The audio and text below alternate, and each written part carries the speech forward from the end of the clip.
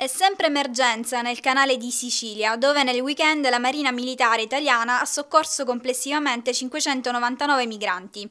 A Pozzallo nei giorni scorsi ne sono approdati 105 e le forze dell'ordine hanno fermato due presunti scafisti. Uno dei due aveva già dei precedenti ed era stato condannato per gli stessi reati nel 2011. Nel frattempo è allarme per gli scafisti, così come denunciato stamani a Radio Rai da Maria Francesca Pricoco, presidente del Tribunale Minori di Catania.